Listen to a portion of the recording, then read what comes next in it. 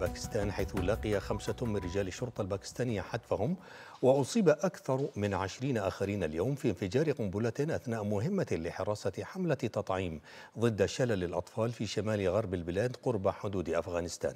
جاء ذلك خلال ضمن سلسلة هجمات نفذها متشددون إسلاميون قبل الانتخابات العامة التي تحل في الثامن من فبراير القادم. وأعلنت جماعة طالبان باكستان مسؤوليتها عن الهجوم في بيان أرسل لوكالة رويترز للأنباء. من جهته قال مسؤول في الشرطة إن الانفجار أصاب شاحنة تقل رجال شرطة كانوا في طريقهم لحراسة حملة تطعيم ضد شلل الأطفال في منطقة باغور القبلية شمال غرب البلاد.